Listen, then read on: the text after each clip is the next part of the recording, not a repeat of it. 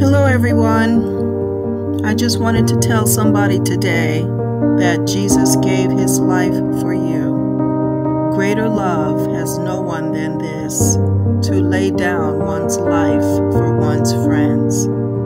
There is still room at the cross for you. Come to Jesus today.